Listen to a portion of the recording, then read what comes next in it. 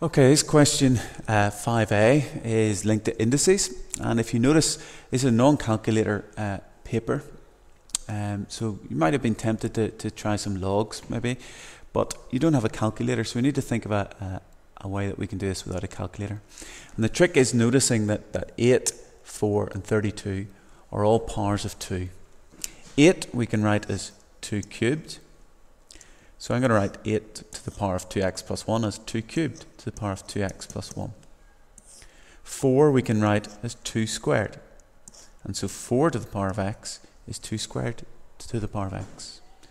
And finally 32 is 2 to the power of 5. Now our rules of indices say that when you have a power raised to a power, we, we multiply those values. So it's 2 to the power of 6x plus 3. And on the bottom we have the same sort of thing. We have 2 raised to the power of 2, all raised to the power of x. So that's 2 to the power of 2x.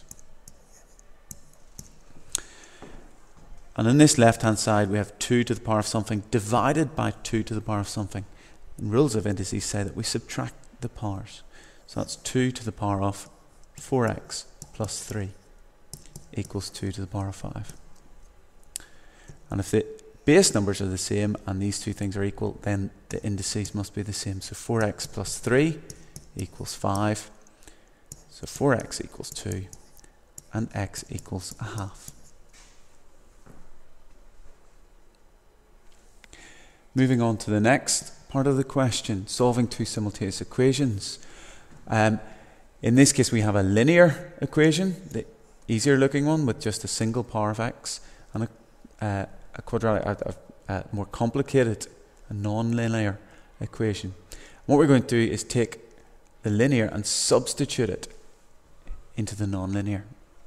Now in this case, uh, I know what y is equal to. It's x minus 4. So I'm going to substitute for y. So in the non-linear, I write x squared plus whatever y is squared equals 12.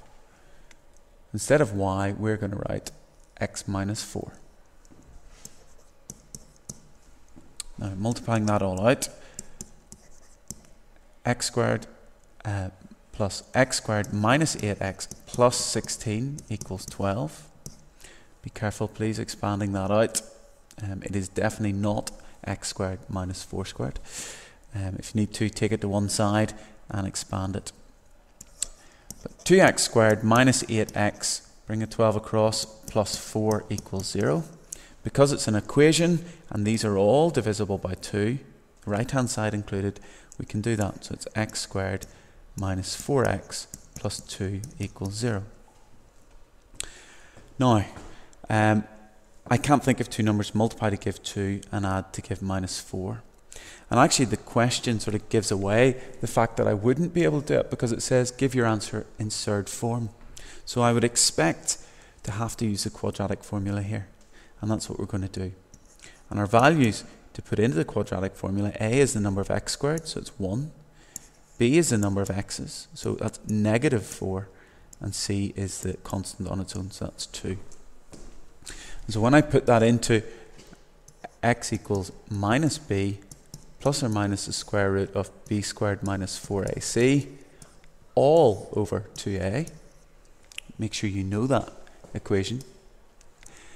Um, let's put our values in and find out what the answers are then. x equals 4 plus or minus the square root of 16. Because notice minus 4 all squared is positive 16.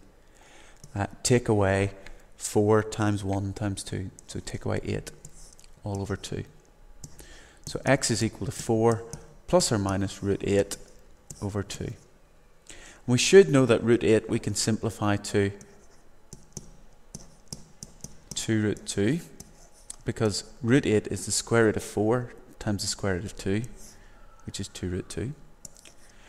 Uh, and now everything on the top is divisible by 2. So we can again simplify that down. x equals um, 2 plus or minus root 2. Now, the only thing to, to worry about here is that when we have um, our value of x here, we've got two values of x. We haven't actually solved the simultaneous equation because we haven't given a value corresponding values of y. So let's do that. And the easiest way to do that is take your value of x and plug it into the linear equation. So if x equals 2 plus root 2, then y is equal to, well, it's x take away 4. If I take away 4 from this, that's minus 2 plus root 2. Or if x is 2 minus root 2, my other solution for x, then y is equal to x take away 4. Well, 2 minus root 2, all take away 4 is minus 2 minus root 2. And now we have solved our simultaneous equations. We've got two sets of solutions.